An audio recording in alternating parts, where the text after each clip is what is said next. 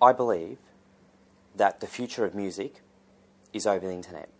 And when I say internet, it's not just the traditional internet we see today, but also other forms, uh, whether it would be wireless connectivity, uh, connectivity in buildings.